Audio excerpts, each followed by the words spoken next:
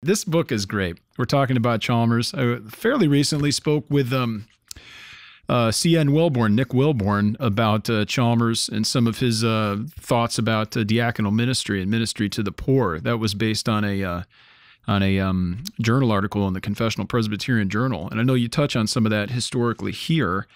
Uh, mm-hmm. But we're speaking about a biography, and you previously also had written a, a bite-sized biography on Chalmers. I'd like to start just by asking you, perhaps, how those two relate to one another, but even before that, asking you how you became interested in, in Chalmers and what brought you to, to write these volumes.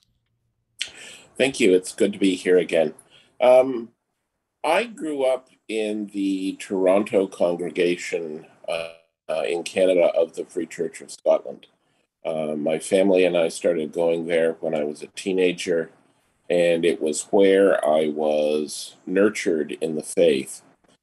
I uh, developed a early interest in history, and because of the church's connections with Scotland, started doing a little bit of reading on Chalmers and had some idea of who he was and the role that he had played in church history. Um, one of the impetus for this book came about in 1996. Um, my wife and son and I were in Scotland. I had been sent over as a commissioner to the Free Church General Assembly. And we arrived in Edinburgh uh, early in the morning. And uh, as jet lagged as we were, uh, decided that we would do one of the basic tourist mm. bus tours around just to orient ourselves to Edinburgh. Yeah. And uh, the tour uh, started uh, at the top of the Royal Mile, where Edinburgh Castle is, and sort of worked its way down the Royal Mile toward uh, Holyrood Palace. Uh, about halfway down the Royal Mile is St. Giles Cathedral, which was a central place in uh, the Reformation in Scotland. And across the street from St. Giles Cathedral is John Knox's house. And through my jet lagged brain, I heard the 20 something tour guide say, We're passing St. Giles Cathedral and John Knox's house.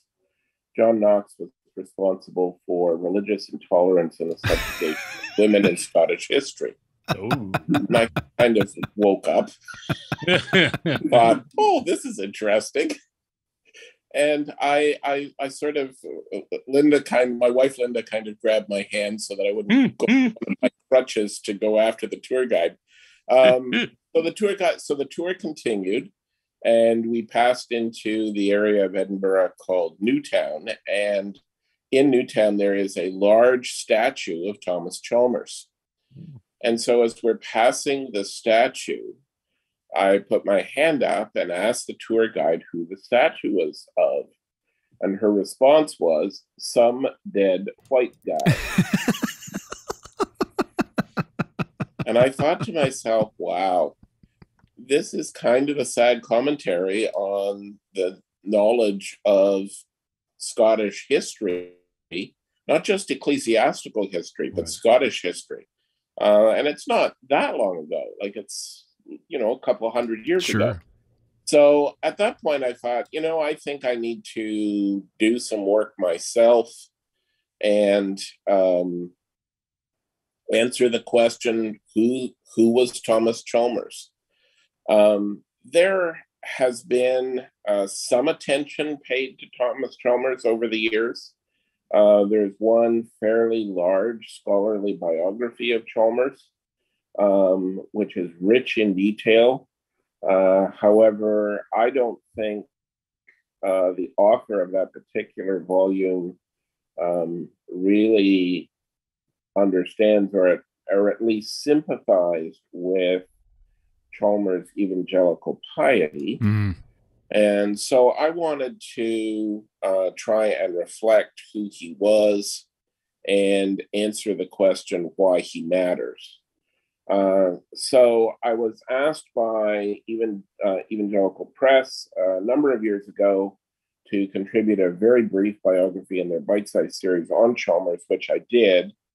And then they came back to me and asked me to expand that. And that uh, is uh, what the Chief Scottish Man book is. So it's an expansion of the bite sized biography. What I did was I went back into my manuscript. I wrote uh, an entirely new chapter on his preaching and his leadership in the church. And then I expanded uh, a number of the other chapters as well.